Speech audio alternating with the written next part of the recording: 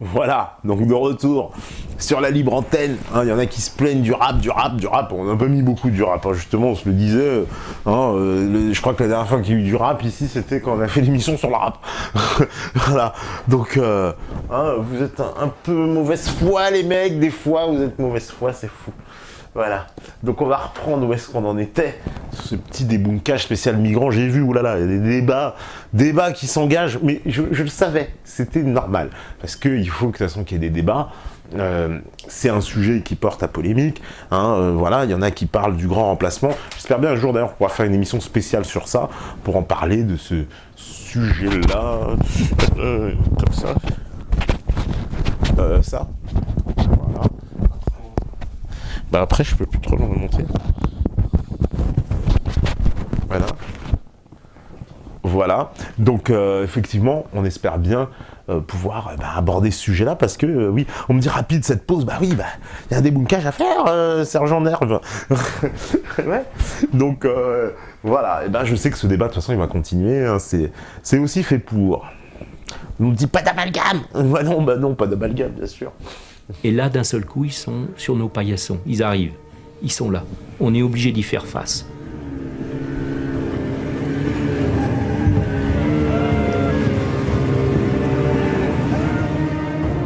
La Turquie déborde de réfugiés. Les gens arrivent en Grèce, jusqu'à 6000 personnes par jour. La Grèce n'enregistre plus personne. Complètement dépassée, les autorités grecques laissent partir les gens vers le nord. Bah, Qu'est-ce que vous voulez qu'ils fassent De toute façon, ces pauvres Grecs, 6000 personnes par jour. Déjà, la Grèce, elle est prise dans, dans des problèmes, vous connaissez bien hein, le- les problèmes que connaissent les Grecs. Et en plus, ils ont ce, ce problème supplémentaire. Donc, on peut même pas leur reprocher, effectivement, bah, de laisser tout à volo. De toute façon, il y a déjà plus d'argent dans les caisses de l'État. Alors, combien est-il? Il faudrait maintenant qu'ils paient combien des millions pour enregistrer ces gens, pour les machins? C'est- C'est plus possible. C'est absolument plus possible. Elle ne respecte plus les accords de Dublin. L'espace Schengen, en rouge, sert à protéger les frontières de l'Europe. Le règlement de Dublin, lui, détermine quel pays est responsable de la demande d'asile. On s'inscrit là où on arrive. Ah ouais, pas de chance parce qu'effectivement les mecs, ils, ils arrivent toujours dans les mêmes pays, c'est-à-dire la Grèce, l'Italie. Bon, l'Espagne, ils sont protégés parce que effectivement, hein, nous aussi euh, côté français, eh ben euh, l'Algérie, le Maroc, hein, et puis bon, euh, même la Tunisie aujourd'hui sont des pays euh, relativement stables, hein, surtout l'Algérie, le Maroc et la Tunisie aussi actuellement. Donc du coup, on voit bien que bah, les gens arrivent par traversent la Turquie, donc arrivent par la Grèce et l'Italie. Donc ces deux pays se retrouvent en première ligne, effectivement, n'ont plus intérêt à respecter euh, les fameux accords de Dublin qui voudraient qu'ils enregistrent chaque demande de réfugiés. C'est plus possible. 6000 par jour, hein, on nous a dit. Et ça fonctionne quand il y a peu de monde? Autant dire que le règlement de Dublin n'est pas adapté à cette crise migratoire, puisque ce sont les pays de première ligne qui trinquent, comme la Grèce et l'Italie. On aurait pu prévoir qu'en cas de crise, les gens arriveraient tous dans un même pays. Et ça, c'est une erreur d'avoir pas mis en place un mécanisme de solidarité complémentaire à Dublin. Ça, on peut le dire. Ouais, l'Union Européenne, est incapable de, payer quoi que ce soit. Donc euh, ces pays-là, bah, ils ont laissé faire au bout d'un moment. On peut même pas leur reprocher, hein, que ce soit la Grèce ou l'Italie. Ah. Voilà, donc là. Voilà. On peut, on peut même pas leur reprocher à ces pays de, de, bah, de, de laisser, euh, de laisser ces gens passer. Au bout d'un moment, c'est plus possible. C'est plus possible. Voilà. On voulait que les personnes puissent obtenir une protection, mais pas puissent nécessairement choisir dans quel pays elles obtiendraient cette protection. Maintenant, évidemment, de manière sous-jacente, il y avait l'idée que la protection devait être à peu près la même partout. Et ça, c'est actuellement pas du tout le cas en Europe. Les conditions offertes par la Hongrie ou la Grèce sont pas du tout comparables avec celles qui sont offertes par la Suisse, l'Allemagne ou la Suède. Ouais, enfin, surtout que la Suisse n'est pas dans l'Union Européenne, mais bon. Donc les gens souhaitent aller ailleurs. Et puis ensuite, les gens ont des familles, ils veulent rejoindre leur famille. De ce point de vue-là aussi, ils veulent choisir leur pays. L'accueil des réfugiés est à géométrie variable en fonction du pays d'arrivée. Nul n'est égal devant l'asile. Il n'y a pas de médecin en ce moment ici. Ma fille est malade, elle ne dort plus depuis trois jours. Il n'y a pas de médecin. L'Allemagne reste la destination privilégiée des réfugiés. Ouais, forcément. Alors ça, on peut se demander, mais pourquoi l'Allemagne? Pourquoi ils veulent tout ça en Allemagne?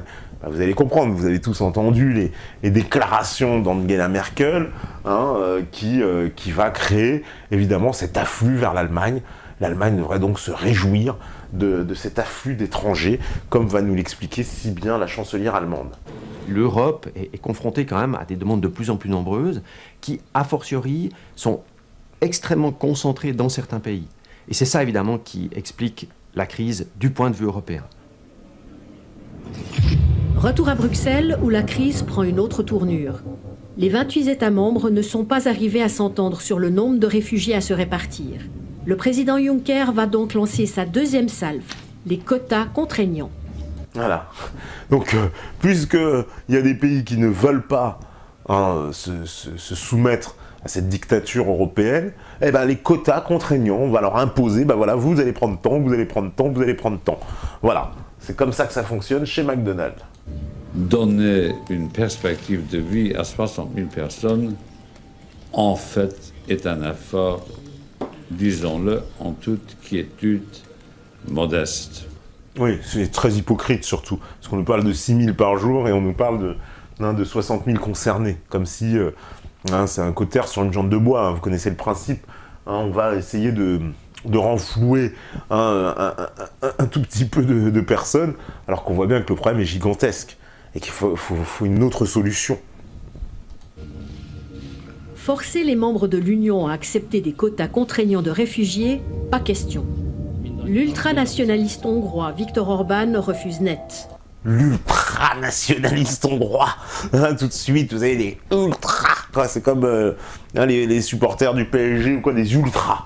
hein, dès qu'il y a quelqu'un qui défend hein, les intérêts vitaux de son pays, euh, bah, il devient un ultra-nationaliste, évidemment. suivi par la Pologne, la Slovaquie, la République tchèque.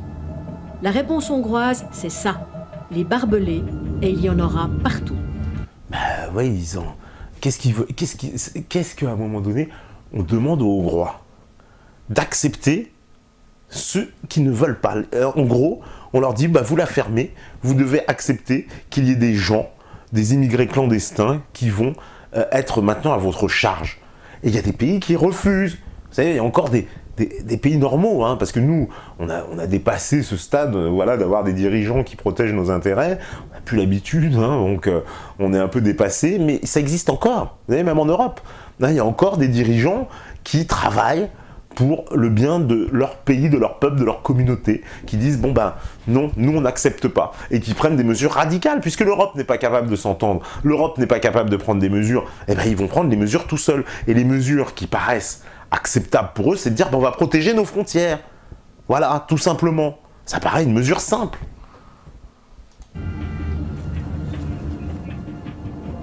On pourra ériger tous les murs qu'on veut, tous les fils de fer barbelés, tous les contrôles. Ça ne marchera jamais. Ah ouais, surtout qu'ils sont. Elle est bien placée cette dame pour nous dire ça, alors même que hein, l'Union européenne finance un, un mur entre l'Ukraine et la Russie qui va coûter apparemment plusieurs milliards. Donc ils sont sympas hein, quand même. Quelqu'un qui a décidé de partir va partir et va trouver une autre façon de rentrer dans le pays. Tout ce que ça va faire, c'est mettre ces gens qui sont déjà tellement vulnérables entre les mains de passeurs qui vont prendre encore davantage de risques que ceux qu'ils ont déjà pris. Non, c'est pas comme ça qu'on règle une situation, c'est pas comme ça qu'on règle un problème. Et alors c'est comment alors? J'ai envie de lui demander. C'est quoi? Alors C'est comme le disait la députée allemande, faut, faut ouvrir les frontières.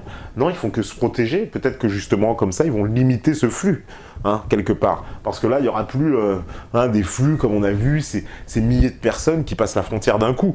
Eh bah oui, avec, euh, avec des barbelés, bah voilà, ce sont peut-être des petits groupes, ça va peut-être limiter, au moins. À Bruxelles, les conférences se suivent et se ressemblent étrangement. Le 20 juillet, certains pays acceptent les migrants, mais à condition qu'ils soient chrétiens. Chacun défend son petit lopin de terre. Ça, c'est pas mal quand même. on accepte, mais que les chrétiens. Bon, c'est vrai qu'il y a des, des Syriens chrétiens, il est vrai.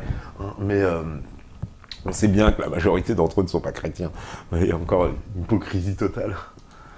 On n'est pas là pour euh, jardiner, on est là pour créer de nouvelles initiatives, on est là pour faire avancer l'Europe, on est là pour résoudre des problèmes épineux. Dans cette cacophonie, une voix venue d'Allemagne va sonner la fin de la récréation. Ah, sonner la fin de la récréation. Ah, pardonnez-moi, mais l'hypocrisie totale. Alors allons-y, allons voir l'hypocrisie totale. Qu'est-ce que ça donne? Angela Merkel fait sa rentrée politique. Elle annonce que son pays pourra accueillir jusqu'à 800 000 réfugiés d'ici la fin de l'année. Au niveau européen, le thème de l'asile pourrait être le prochain grand projet où nous pourrons montrer si nous sommes vraiment capables de gérer la crise ensemble. Vous voyez, pour moi, cette, euh, cette annonce, parce que c'est un effet d'annonce, mais pourquoi? Parce que depuis, on sait très bien que l'Allemagne a fermé ses frontières, donc vous voyez l'hypocrisie totale. Hein, elle a pris cette mesure, d'ailleurs, sa côte est en train de dégringoler hein, à la vitesse grand V en Allemagne. On sait qu'elle euh, ne sera plus euh, probablement chancelière hein, bientôt, parce que sa côte est en train de dégringoler, tout son parti n'est pas d'accord. Hein, je veux dire, tout son même, à l'intérieur même de son gouvernement, il y a des bois qui se sont levés des oppositions. Son propre ministre de l'Intérieur a déclaré qu'il parlait d'un suicide allemand. Donc vous voyez, euh, Angela Merkel a fait un effet d'annonce extraordinaire en poussant les gens à, se rendre tous en Allemagne, mais les faits, les faits, et seulement les faits, eh bien, montrent, démontrent que c'était une, hypocrisie totale de sa part, hein, puisque l'Allemagne s'est empressée de fermer ses frontières. Donc, euh, c'est exactement l'inverse de ce qu'elle a annoncé. C'est ça qui est, assez fantastique. Hein. Alors, évidemment, oui, le capitalisme allemand, très content. On a vu, hein, je vous je citais tout à l'heure M. Anders, le président d'Airbus, qui parlait de changer la législation, etc. Il y a tout un tas de gens très contents en Allemagne, puisqu'on nous explique que les Allemands, on va nous l'expliquer aussi dans le reportage, ont besoin de 35 millions d'immigrés. Rien que ça, quoi. Hein. Angela Merkel, elle a su faire le premier pas juste. elle est très intelligente. Elle est très intelligente, elle est surtout très démago. et puis elle est surtout prise dans cette espèce, vous savez, de, masochisme allemand hérité de la Seconde Guerre mondiale, hein, dans lequel euh, les Allemands sont toujours en train de souffrir. Hein, ils doivent souffrir d'avoir tué et participé à ce, génocide hein, euh, de, 1900, de la Seconde Guerre mondiale. Et aujourd'hui, ils se rattraperaient à travers cette histoire de migrants ce qui est complètement euh, surréaliste comme situation, évidemment. L'Allemagne a besoin, a besoin de gens pour, euh, pour travailler en, Allemagne. Les Syriens sont tous des gens euh, formés, des gens qui ont un métier, qui savent faire leur travail, c'est des gens très sérieux. L'Allemagne est le pays au monde qui a le plus bas taux de natalité. Et on estime que d'ici 2035, elle aura besoin de 35 millions d'immigrés. Ah, ça, je sais pas tout ça son chiffre. Ils ont des chiffres quand même assez hallucinants, avouez-le. Hein, donc, il y aurait 10 millions de Syriens dehors. L'Allemagne aurait besoin de 35 millions d'immigrés. Un pays de 80 millions euh, d'habitants, 35 euh, millions Non, mais attendez, autant vider, euh, je veux dire, le tiers du Nigeria. Hein, c'est quoi, le, quoi le projet? 35 millions d'immigrés. Non, ils sont pas sérieux, là pouvoir faire l'équilibre entre sa force ouvrière et ses retraités. Vu la situation européenne, tous les États ensemble, peut-être c'était évidemment un signe, comme vous dites, euh, que, que, maintenant tous les Syriens disent aussi dans les camps, nous voulons aller en Allemagne. Ils ne parlent pas de la Suisse, ils ne parlent pas de la France, ils ne parlent pas de l'Hollande, ils parlent de l'Allemagne. Il y avait déjà beaucoup de gens qui étaient sur les routes avant l'annonce de l'Allemagne, et c'est ces personnes-là finalement qui sont actuellement en train de chercher leur chemin. Ensuite, c'est vrai que euh, les frontières ont quand même aussi un effet de frein. On a toute une série de frontières à toutes sortes d'endroits qui effectivement contribuent à une certaine régulation de la migration. Ah bah oui Heureusement qu'il y a des pays, justement, voilà, comme la Hongrie, hein, qui, euh, bah, qui appliquent ce principe de frontières et qui ont décidé d'abolir finalement les règles de Schengen et du sans-frontiérisme absolu. Hein, pour réguler un peu cette folie migratoire. Et là, l'hypocrisie allemande, c'est qu'elle a fait la même chose. Hein, c'est d'avoir fait exactement la même chose. Et vous savez, depuis qu'il y a eu un afflux d'immigrants en Allemagne, euh, énormément de voix se lèvent. On a vu même le, président du Lander de Bavière qui a décidé, euh, s'il le fallait, de rentrer en, dissidence totale avec Berlin et avec le gouvernement fédéral, parce qu'ils trouvent cette politique suicidaire. Et des Allemands, apparemment, moi, ce que, ce que je lis dans la presse allemande, hein, parce qu'on m'envoie énormément de documents, euh, les Allemands sont euh, plutôt opposés hein, à cette, cet afflux d'immigration. Parce que comme je vous dis, les Allemands, ils ont un gun sur la tempe constant qui est euh, la Shoah et le, génocide de la Seconde Guerre mondiale. Hein. et au nom de ça, ils doivent absolument tout accepter, se taire. Hein, euh, on les a un peu castrés mentalement ces 70 dernières années. Donc euh, ils n'ont plus le droit trop de parler sous prétexte. Alors c'est encore pire, vous êtes tout de suite un nazi. Mais et là, ils devraient quoi Cette espèce de majochisme se rattraper tout le temps, se rattraper. Ah bah si, venez chez nous, on n'est pas si méchant, etc. Alors qu'en fait, les Allemands n'en ont pas envie du tout. Il ah, faut, bien, euh, faut bien remettre les choses en place. L'appel d'air venu d'Allemagne, les réfugiés convergent par les chemins les plus rapides. Ils se retrouvent face à des barrières, bloqués dans leur progression, sans comprendre ce qu'il se passe. We respect everybody. Please and thank you. Hungary, thank all Europe. En pleine canicule, personne pour expliquer et apporter la moindre information, le moindre soutien. Où sont les médiateurs? Où sont les humanitaires? Ah, si la crise avait lieu euh, en Afrique, au Moyen-Orient, la réponse aurait été différente. Oh bah oui, on n'aura rien à faire. je comprends pas ce qu'il nous dit, oui, la réponse aurait été différente, évidemment, évidemment que ça aurait été différent. Mais là, il s'agit quand même de 1 million de personnes qui se déplacent. Hein. Évidemment qu'il est plus facile, on va, va pas se mentir, euh, pour, je sais pas, 100 000 Congolais d'arriver euh, dans un pays d'Afrique noire et de s'intégrer, euh, j'en sais rien, moi, d'arriver euh, peut-être bien au Zimbabwe, peut-être bien en Ouganda, ça va être plus... Alors, ils ne parlent pas la même langue, mais ils vont bien finir par s'adapter beaucoup plus facilement que de prendre 100 000 Afghans pour les intégrer en Europe. Il faut quand même remettre les choses en place.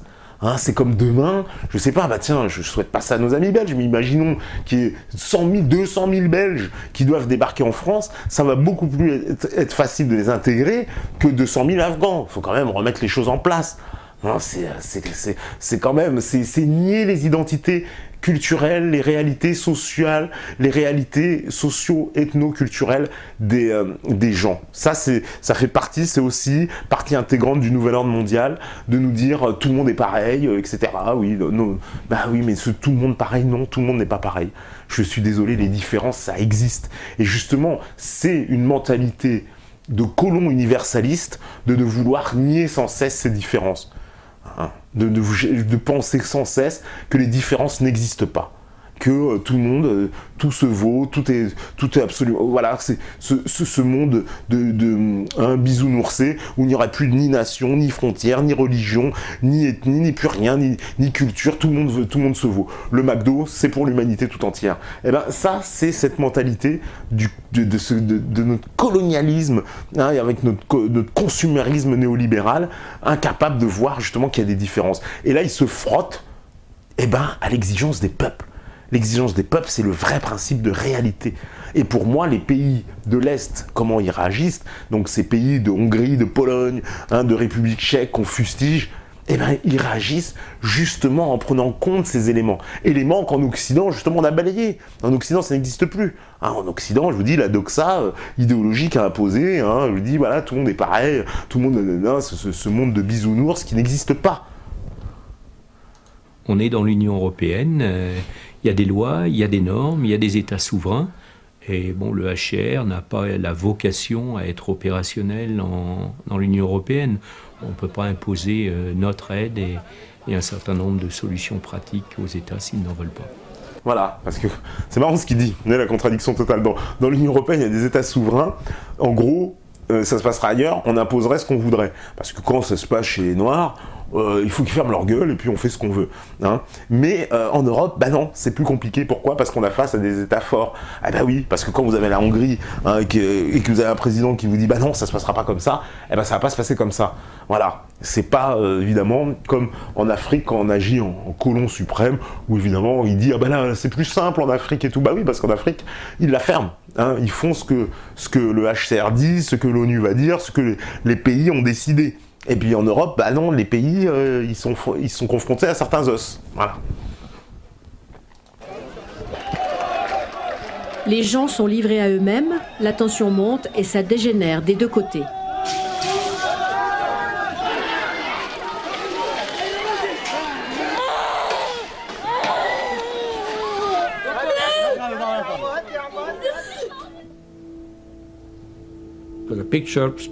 Les images parlent d'elles-mêmes. Je n'ai rien à dire, je n'ai rien à y opposer, c'est arrivé. Ça n'aurait jamais dû arriver. Ah ouais, mais bon, ça, ça, aussi, des vœux pieux d'incantation. Ces images parlent d'elles-mêmes. Bah oui, enfin, on peut montrer euh, les images, vous savez, les images parlent d'elles-mêmes. Hein. Hein, vous savez, la, la manipulation de l'image, ce que ça peut être déjà. Les images parlent d'elles-mêmes. Ah, ça, aussi, ça pourrait être l'objet d'un débat. En tout cas, ce qu'on y voit, on voit des policiers, des rangs de policiers, puis on voit en face des rangs hein, de migrants qui cherchent à rentrer à la frontière et des policiers qui tiennent hein, tout simplement la frontière telle qu'on leur a ordonné de le faire. Donc voilà, ils font leur travail, tout simplement. Donc euh, les images parlent d'elles-mêmes, euh, oui, euh, qu'est-ce qu'on qu qu'on y voit dans ces images? Alors après, oui, voilà, on vous a montré des enfants en pleurs, des machins, hein, voilà, ce qui n'explique pas d'ailleurs, hein, est-ce que ce sont des, policiers même qui sont à l'origine de ça? Ça, donc les images parlent d'elles-mêmes. Ça reste encore à démontrer, hein, ça reste encore à démontrer. Quand on est là face à véritablement un, un, reportage de propagande, j'aurais tendance à méfier moi de certaines images. Je suis désolé que ça ait eu lieu, mais c'était la seule chose à ce moment-là que les gens ont décidé de faire. D'une certaine façon, je le répète, la situation a cessé. Mais alors, pourquoi avoir fermé les frontières? Nous avons toujours dit très clairement que nous n'avions aucune intention de fermer la frontière. La frontière, par définition, c'est l'endroit par lequel on entre dans le pays. Le problème, c'est que les gens ne passaient pas par les postes frontières, mais par les champs. Et quand des milliers de personnes ont commencé à arriver, c'est devenu impossible. Au niveau... C'est de se défendre, mais c'est un peu difficile, hein, mais évidemment. Évidemment, ils ont été submergés et ils n'ont pas envie de se laisser faire, point. Voilà, c'est aussi clair que ça.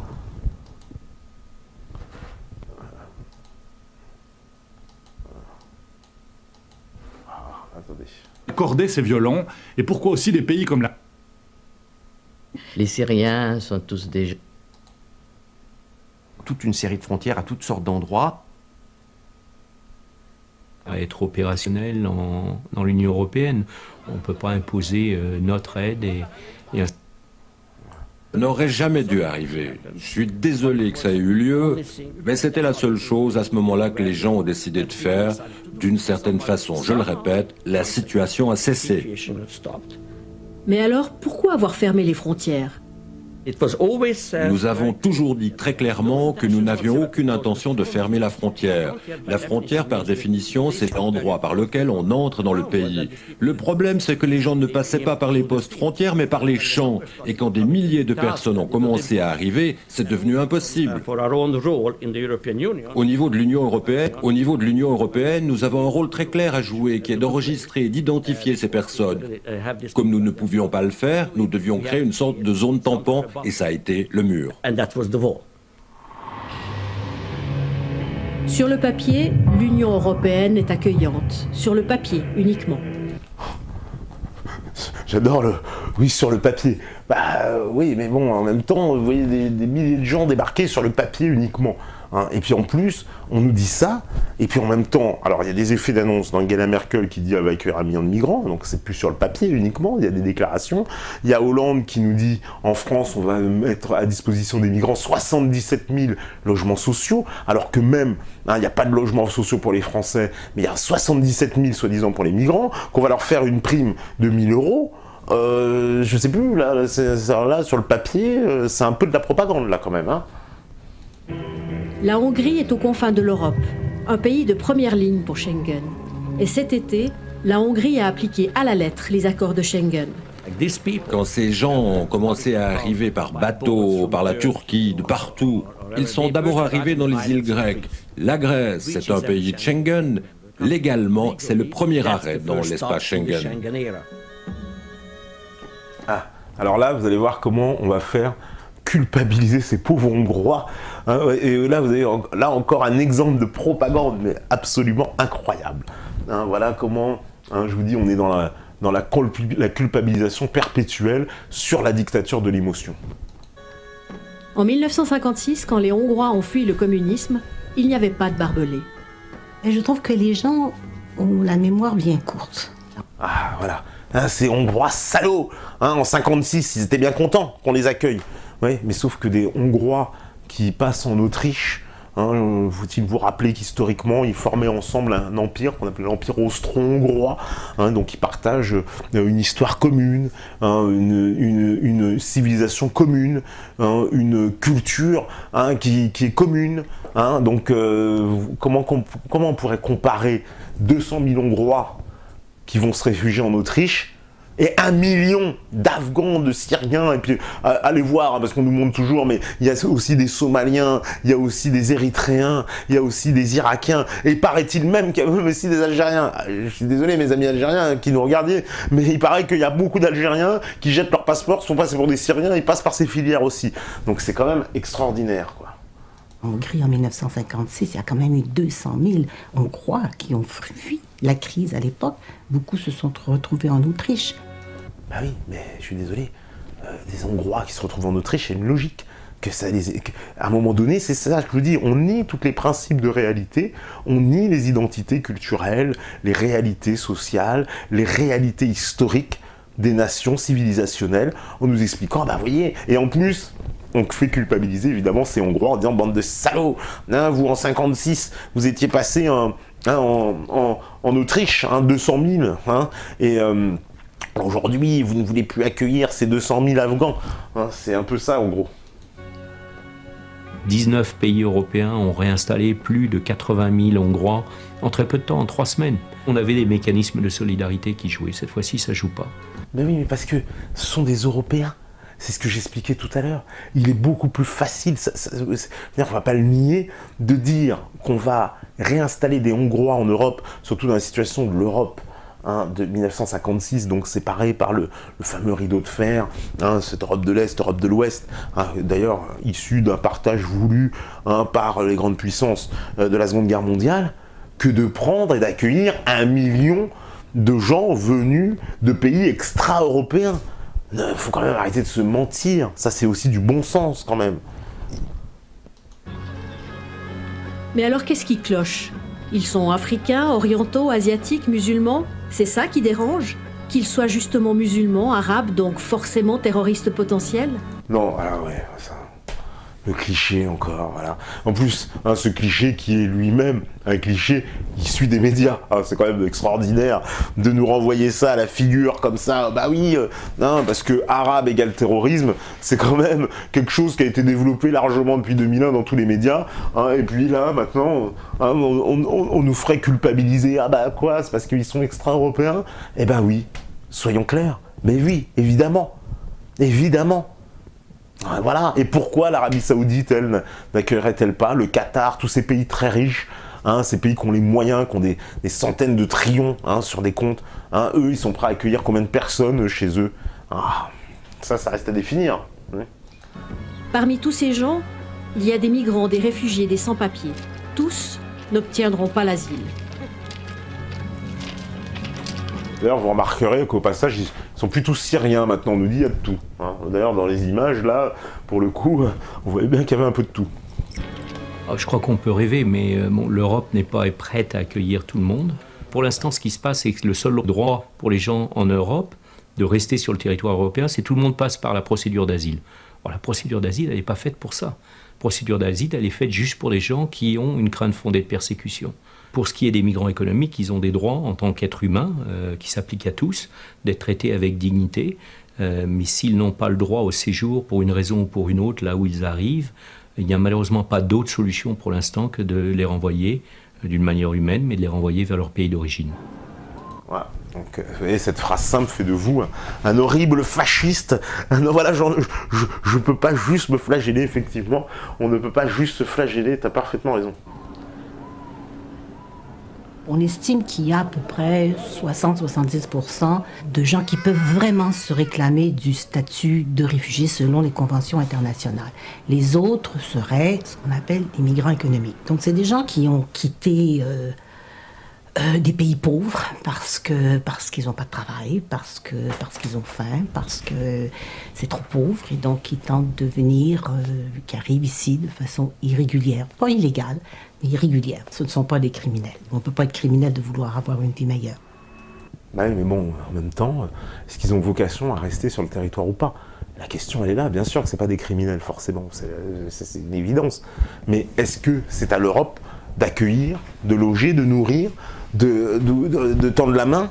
Hein ils sont où les autres pays, hein, puisqu'on nous parle de crise internationale, machin, etc. Hein ils sont où les États-Unis, même aussi, dans cette affaire? Pourquoi on ne les enverrait pas là-bas aussi? Puis il y a de la place là-bas en plus, hein, un peu plus que chez nous. Hein. Puis c'est un pays basé sur l'immigration, ça leur fait pas peur là-bas d'avoir des flux migratoires. Hein, donc ce, ce, sera intéressant, ça qu'on pose la question. Ça, ce n'est jamais posé, non, tout le poids de supporter sur les Européens. Hein, bah, alors que je sache, la Slovénie, la Hongrie, la Lituanie, Malte, c'est quoi Ce sont les responsables de la guerre en Irak, de la guerre en Libye? Hein, Ce sont eux les responsables, c'est eux qui ont financé ces guerres, qui ont été derrière toutes ces guerres? Une vie meilleure, c'est ce que voulaient les 71 personnes mortes étouffées dans ce camion abandonné sur cette autoroute en Autriche. Voilà. On vous refout une couche d'Ilan, hein, de hein, au cas où vous n'aurez pas assez pleuré dans les chaumières, au cas où vous n'aurez pas assez culpabilisé. Hein, ce reportage-là est bien fait. Une vie meilleure, c'est aussi ce que voulaient les parents de ce petit garçon. Ouais, enfin, il paraît qu'ils étaient des passeurs, mais bon. Retour à Bruxelles. Après sept mois de tergiversation, l'Union vote enfin, mais en se bouchant le nez, l'accueil de 160 000 réfugiés. La Suisse participe aussi. C'est peu, mais c'est toujours mieux. C'est 160 000. C'est ça le nombre de gens que les Européens doivent prendre en charge et accueillir à bras ouverts vous avez obligation, vous avez vu, accueillir à bras ouverts. De toute façon, vous êtes content ou pas content, on s'en fout. Vous devez accueillir à bras ouverts. Hein, c'est encore une fois dans le dos des peuples. Il hein, n'y a pas de décision, c'est. Euh, Monsieur Juncker que personne n'a élu. Hein, après, on va vous dire, ben oui, mais il parle des représentants, oui, des représentants à qui on impose, puisque la preuve, les pays ne sont pas d'accord. Ah. Ben, c'est pas l'Europe qui, qui a un problème avec les réfugiés. L'Europe, euh, euh, a cet effet néfaste d'une guerre qui ne termine pas en Syrie. La communauté internationale n'est pas intervenue déjà en 2011 pour faire quelque chose. Ils ont laissé euh, évoluer cette situation de, de, combat, de guerre. Ils l'ont laissé évoluer et s'empirer, et puis maintenant ils se trouvent devant une situation impossible. Voilà, toute l'hypocrisie de cette dame, c'est fantastique. Donc l'Union Européenne, l'Europe, hein, puisqu'elle dit que c'est pas l'Europe. Voilà, donc en fait, il faut comprendre l'Union Européenne. Mais elle nous explique en plus que euh, l'Europe n'a rien fait pour cette guerre. Mais si, l'Europe, elle a armé Al-Nosra c'est euh, notre, notre ministre des Affaires étrangères qui nous le dit. Hein. L'Europe, elle a créé. Ce sont les États-Unis qui nous le disent. Ce sont tous les responsables américains, que ce soit les responsables militaires ou diplomatiques. Donc voilà ce qu'ont fait les pays de l'OTAN qui ont dû suivre cette politique folle américaine. Donc on en subit les conséquences. Donc nous dire après, arriver comme ça la gueule enfarinée en nous disant ah bah non, euh, finalement. Euh, on n'a rien fait, nous, depuis 2011. Mais si, on a été très actifs depuis 2011. Depuis 2011, qu'est-ce qu'on fait sans cesse? On arme, on finance une rébellion qui aujourd'hui, bah voilà, nous tombe dessus. Donc faut arrêter, quoi. C'est de l'hypocrisie totale. Une tragédie incroyable.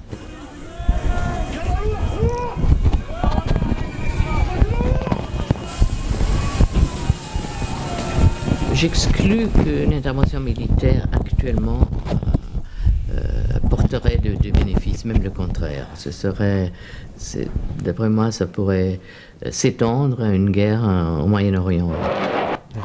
Elle est marrante, oui, j'exclus une intervention militaire. Bah, c'est sûr, si c'est les Américains, déjà, ça fait un an, soi-disant, qu'il y a une coalition internationale contre Daesh. Résultat nul. Hein, Daesh, d'ailleurs, n'a pas arrêté de s'étendre. Et aujourd'hui, hein, nous vivons à l'heure où les Russes, hein, sur la demande du gouvernement syrien, donc agissent dans toute légalité, ont décidé, eux, de faire, euh, euh, euh, comment dire, de participer à cette guerre contre l'État islamique avec des résultats assez phénoménaux en quelques semaines.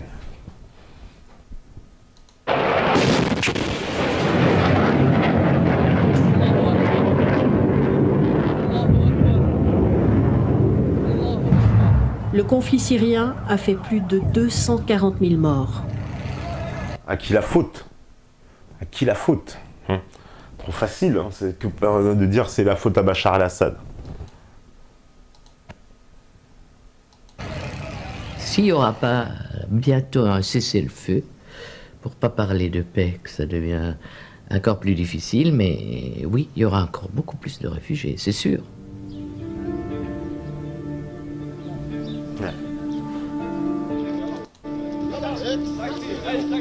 Voilà, l'escroquerie totale. Effectivement, voilà comment euh, vous avez bien vu la, doxa euh, eh ben, qui nous emmène perpétuellement sur cette affaire des migrants à vouloir euh, penser que l'idéologie veuille qu'on accepte forcément les migrants. Alors pour ça, ils sont prêts à, eh ben voilà, à faire toutes les manœuvres possibles, nous faire croire que les guerres seraient des guerres civiles, de simples guerres civiles. Vous savez, le, terme de guerre civile, ça signifie que c'est une guerre interne, hein, entre des factions internes, alors qu'il ne s'agit pas du tout de ça. Euh, ils nous font croire hein, que ces, gens-là arrivent euh, en Europe et sont forcément mal accueillis hein, par ces États au début, à chaque fois, l'enfer, etc. L'Europe, hein, l'Europe c'est que sur le papier, etc. Hein, alors que c'est absolument faux. je pense moi que justement, pourquoi ils veulent venir en Europe si les, les Européens sont, sont, tellement horribles, si c'est l'enfer, si les Européens sont tellement méchants, bah pourquoi venir en Europe? Vous voyez, c'est aussi une contradiction, le paradoxe total de, de leur raisonnement.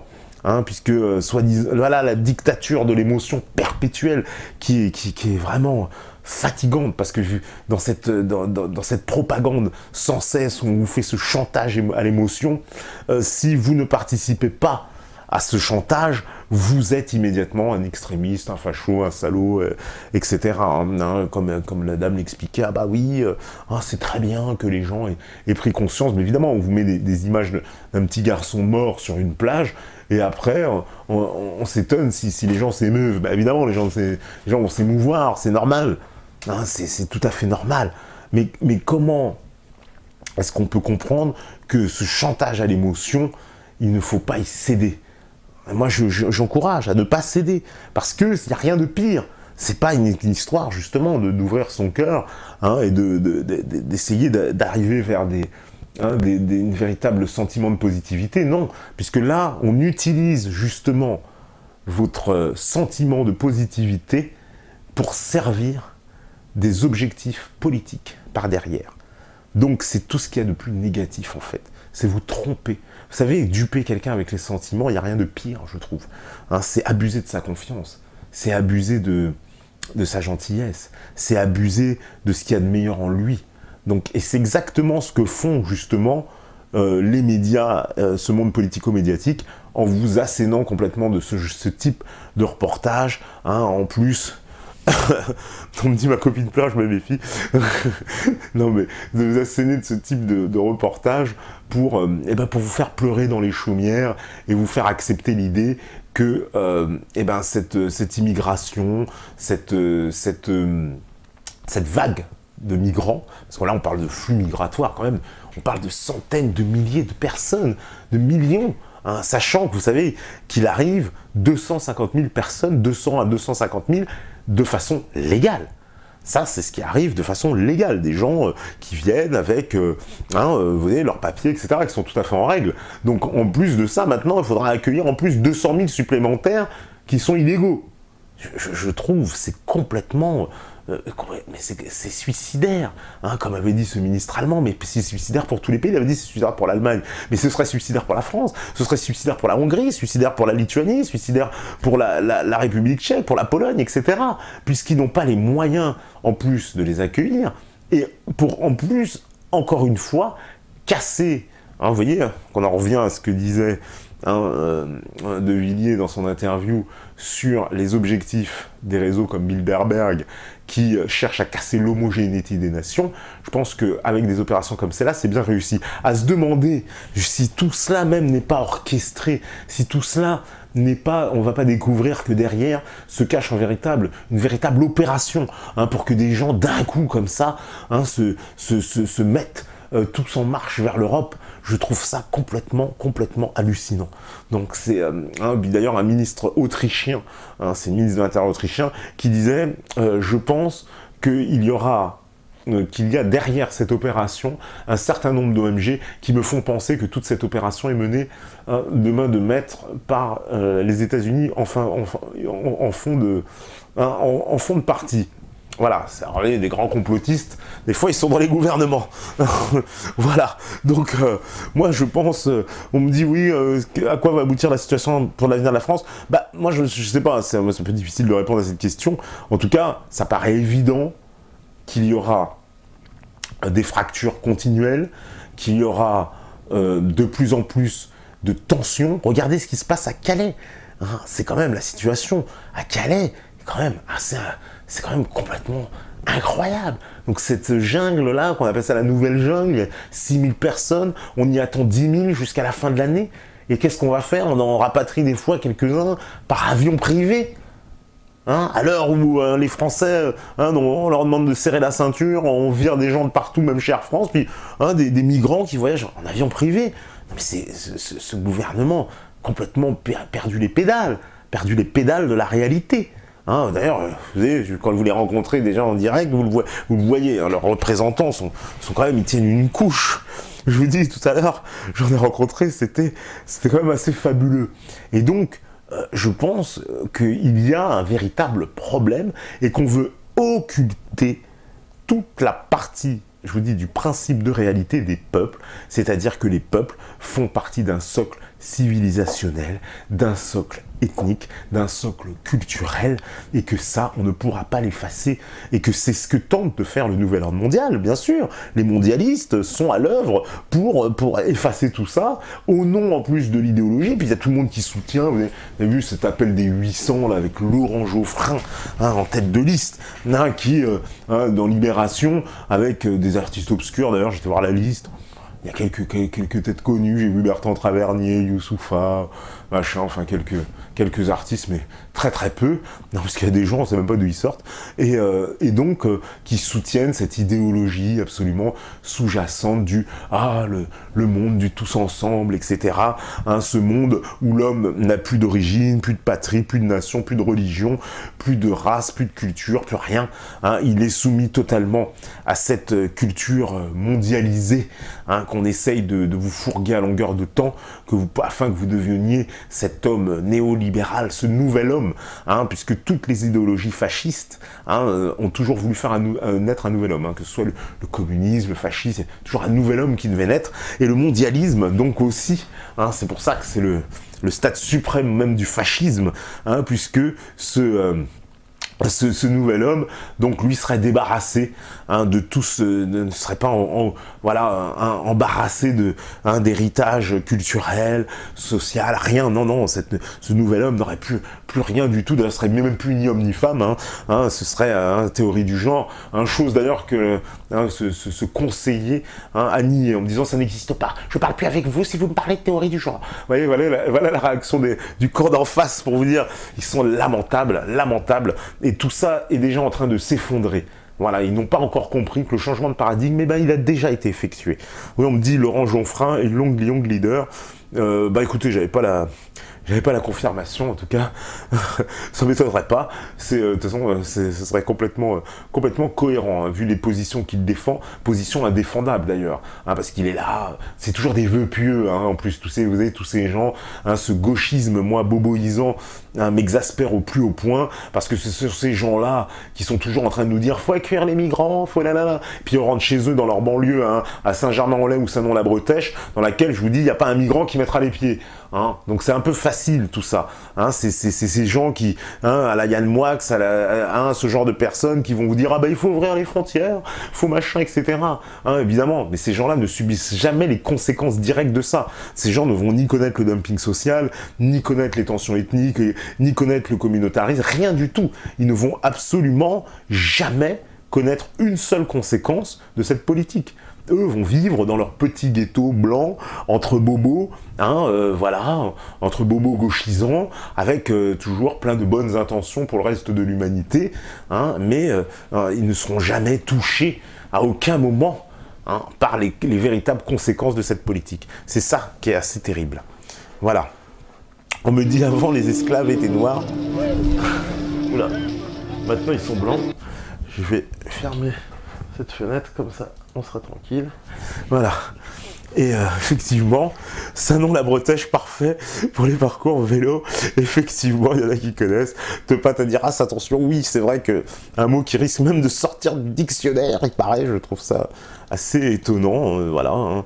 Le peuple, c'est facho, oui. Euh, D'ailleurs, il s'étonnait. Hein. il sait quoi le peuple Voilà, il y en a qui fait son Yann Moix et, et Rani Moix, là, qui disait c'est quoi le peuple? Effectivement, il s'étonne quand on leur parle de cette notion de peuple, notion aussi que j'avais abordée tout à l'heure. Ah oui, le peuple, le peuple, ouais, ils savent pas trop ce que c'est que le peuple. Parce que le peuple, euh, évidemment, ils sont en train de, s'asseoir dessus continuellement, hein, pour rester poli. Donc forcément, ce sont des notions qui leur échappent. Et puis on voit bien que la vie des peuples... Hein, alors on me dit, c'est quoi le titre du reportage? C'est aux euh, euh, migrants aux origines du chaos. Voilà, et vous pouvez le retrouver sur le site de la RTS, donc nos amis suisses. Voilà. On me dit tout cela n'est-il pas 100% compatible à la stratégie des élites mondialistes qui a pour objectif de détruire les nations et de dissoudre leur culture dans un multiculturalisme imposé Mais complètement, Mister Jus, mais complètement. Là, pour moi, c'est le... C'est pour ça que je, fais évidemment un traitera de complotiste, parce que je ne peux pas en apporter la preuve, mais euh, c'est pour ça que je m'appuie sur les déclarations faites hein, de ce ministre euh, euh, de, l'Intérieur autrichien, qui, lui, dénonce clairement la mainmise de certaines ONG, et il y voit lui, la main américaine derrière.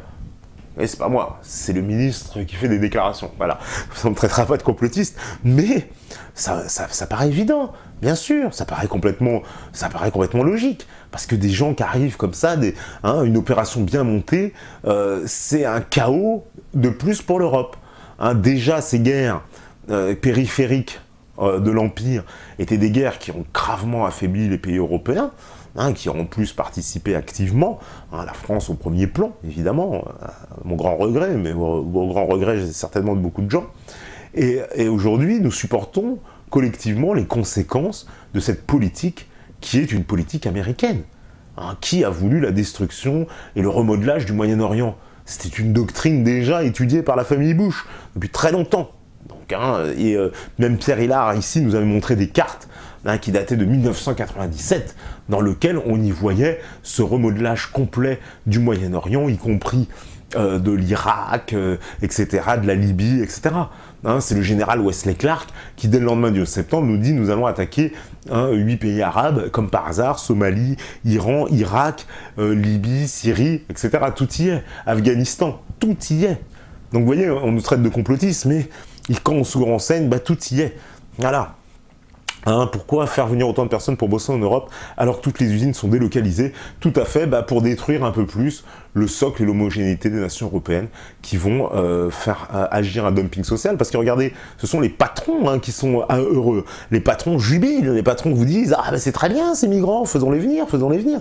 Donc il y a une espèce de réalité pour que les, les, les, les, comment dire, les, les, les patrons euh, allemand, français, euh, etc., euh, accessoirement peut-être italien, mais bon, qui sont dans, la panade, eh ben, pour, accueillir ces, ces gens-là qui vont former un dumping social et vont encore un peu plus à chaque fois atteindre la cohésion et l'homogénéité de ces nations, et sur tous les plans civilisationnels, culturels, religieux, sociologiques, etc., ethnologiques. Donc tout ça va s'effondrer. Et c'est exactement le plan d'un nouvel ordre mondial, voilà, tout à fait. Voilà. Euh, pas, je veux pas te faire peur, mais je crois que comme l'a dit Pierre Hillard, on va connaître l'enfer en Europe. Certainement, peut-être, je ne sais, pas, mais euh, on est bien parti pour. Malheureusement, je vais vais certainement pas vous mentir. Voilà. Donc, euh, bah écoutez, je vous remercie, on arrive à la fin. Donc euh, voilà, toutes les bonnes choses ont une fin. Une fin au saucisson, comme dirait l'autre. Donc euh, forcément, ça s'arrête un jour. En tout cas, ça fait toujours plaisir de faire ces émissions bah, sans invité. Il y a le Métator, il y a vous, il y a la régie, vous voyez. Et on s'entend très bien, finalement, entre nous, bisso d'abisso, comme ils disent nos amis congolais, entre nous. Hein, ça veut dire, vous voyez, imaginez des Français qui feraient un album entre nous. Oula, faut pas trop qu'ils aient des gueules de blond aux yeux bleus. Je vous le dis d'avance. Mais Bissot, Nabisso, ça veut bien dire entre nous. Donc voilà, dédicace à nos amis du Congo qui sont en train de, hein, eux aussi, justement, de se, battre pour euh, essayer d'imposer un peu de, démocratie dans leur pays, hein, avec, je le rappelle, un Sassou Nguesso président qui lui est complètement soutenu par la France. Hein, D'ailleurs, qui a été mis en place par la France euh, suite à une guerre terrible dans laquelle euh, c'était Elf qui avait évidemment participé, Elf Total. Vous connaissez le, principe de ces sociétés-là. En tout cas, merci beaucoup, merci à vous, merci à la régie, merci euh, aux modérateurs connectés, merci à tous les métanotes.